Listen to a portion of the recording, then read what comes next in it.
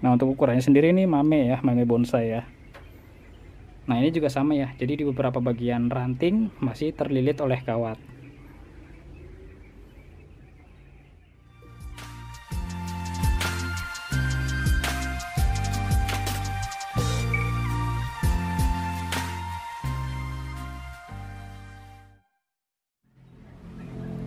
Halo, ketemu lagi dengan saya di Alisa Ramadhani Channel. Nah, di video kali ini saya akan mengajak teman-teman YouTube untuk melihat dan mengenal bahan bonsai dan bonsai sakura mikro. Nah, jadi kita lihat satu persatu ya, seperti apa bahan bonsai dan bonsai sakura mikronya. Nah, jadi dari awalnya sendiri ini berawal dari stek batang ya. Nah, seperti ini. Nah, jadi sakura mikro ini cara memperbanyaknya bisa dengan cara stek batang seperti ini. Jadi ditancapkan saja, kemungkinan besar dia bisa hidup apalagi batang yang masih muda seperti ini. Nah untuk bunganya sendiri dia berwarna merah muda seperti ini. Nah nanti ketika berbunga seperti ini rontok kemudian dia keluar buah. Nah yang buahnya ini yang mentah berwarna hijau sedangkan yang sudah matang dia berwarna merah. Nah untuk bijinya sendiri itu bisa disemai juga ya. Jadi selain dengan stek batang bisa juga dengan cara cangkok dan bisa juga dengan cara semai bijinya. Nah jadi ini masih bahan stekan. Dan yang satunya ini jadi ini hanya gerak dasarnya saja ya seperti ini. Jadi hanya dibuat lakukan. Dan di bagian ujungnya ini masih di los.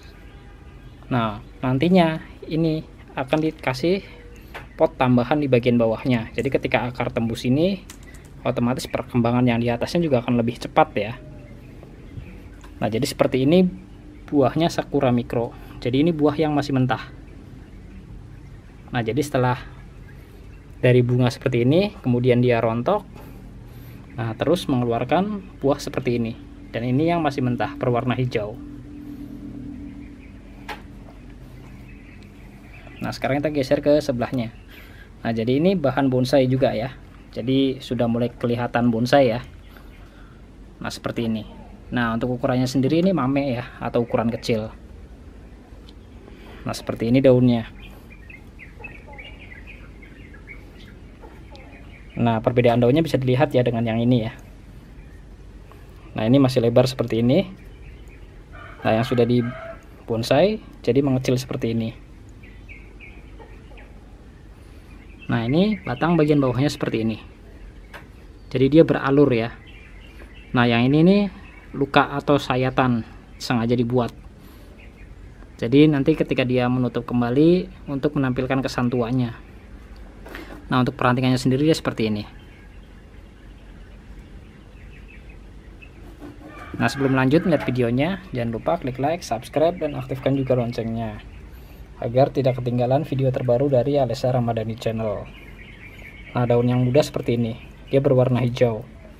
Nah, sedangkan daun yang tua dia berwarna hijau tua. Nah, sekarang kita geser ke sebelahnya.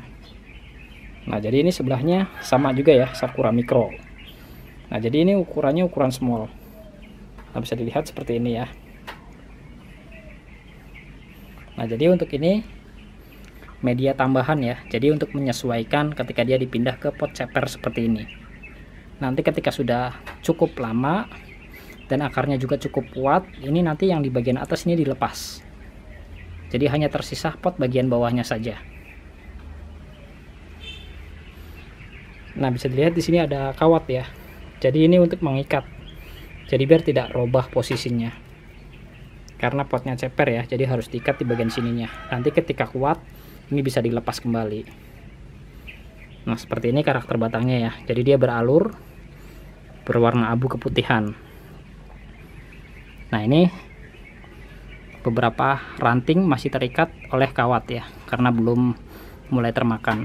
Jadi nanti ketika batangnya sudah mulai termakan oleh kawat ini bisa dilepas kawatnya. Dan biasanya dia meninggalkan bekas kawat. Nah itu makin lama dia akan menutup kembali jadi dapat kesantuannya nah ini bunga sakura berwarna merah muda. Nah ini calon bunga ya atau bunga yang belum mekar. Jadi seperti ini. Nah ketika ini kemudian dia seperti ini. Jadi agak besar dia bulatannya.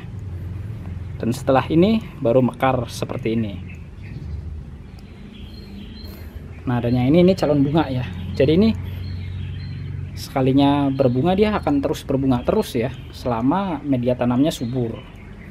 Nah untuk media tanam ini menggunakan pasir malang ya seperti ini. Nah untuk pupuknya sendiri ini dekastar cuman ditimbun ya dekastarnya ya. Nah kalau teman-teman susah nyari dekastar bisa juga menggunakan pupuk kandang. Pupuk kandang kambing itu bagus kalau menurut saya juga ya.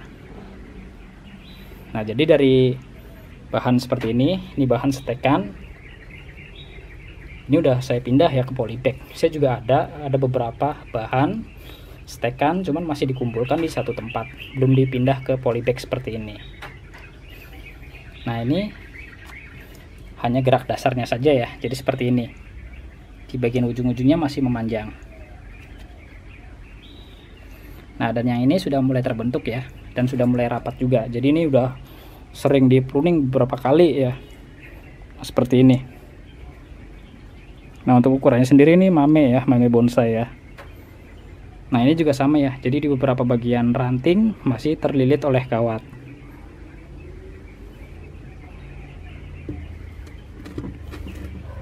Nah yang ini sudah mulai kelihatan bentuknya ya. Ya bisa dibilang sudah jadi bonsai kalau menurut saya. Nah mungkin sampai di sini saja ya.